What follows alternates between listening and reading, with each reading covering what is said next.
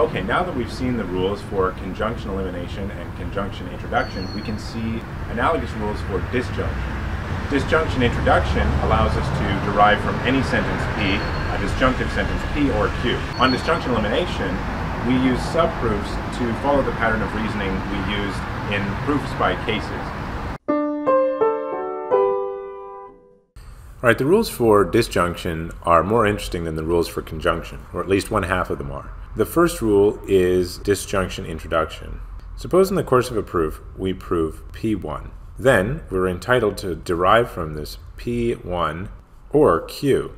And we'll cite our line here, call our line n. So from any standalone assertion, we can derive a disjunction of that assertion in some other sentence. This, again, might seem a little bit weird because it seems like we're throwing information away. But Sometimes we might just want to show P or Q from P, and we don't want to limit ourselves. And we're going to consider an example in which this is useful for us in just a minute. So that's the rule of disjunction introduction.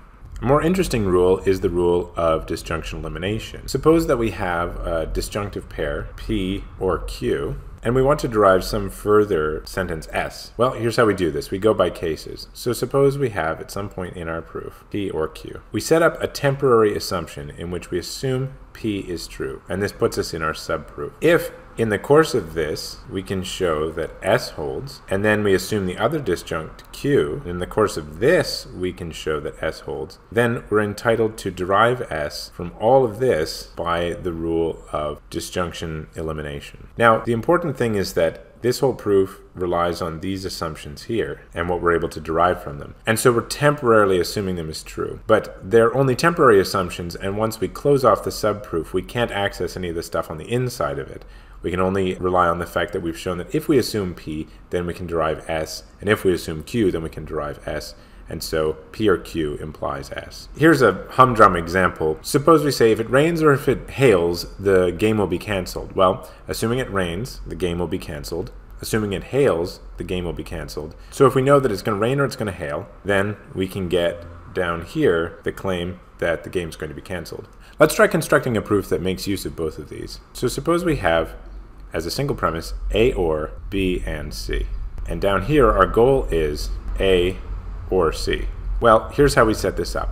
First, we assume that A holds. I'm going to number these lines. On our assumption that A holds, we can straightforwardly derive A or C by disjunction introduction. And we'll cite line 2 because from A, by disjunction introduction, we're allowed to go from A to A or C. Then we assume this other side of the disjunction. We assume that B and C holds. In the last video, we saw that from a conjunctive string, we're entitled by conjunction elimination to derive any of the conjuncts. So from this, we can just derive C by conjunction elimination on 4. And from C, we're entitled to derive A or C by another application of disjunction introduction. And this whole proof amounts to a great big disjunction elimination, for which we'd cite the lines 1 as our premise, 2 to 3 our sub-proof, and 4 to 6. So you can see that this is the Fitch version of the proof by cases which we introduced in week 6 in an informal context. And this is just how you do it with Fitch and how you cite your lines and so forth. The important thing is that when you come across a disjunction like this, which is to say a sentence with a disjunctive sign as its main connective up here, and you want to derive some standalone assertion the way we did down here, what you do is you assume each of the disjuncts in turn, show in these subproofs that that disjunct leads to what you want, and once you've exhausted the disjuncts, you've proved what you want, which in our case was A or C down here. And that's just how disjunction elimination works in the Fitch system.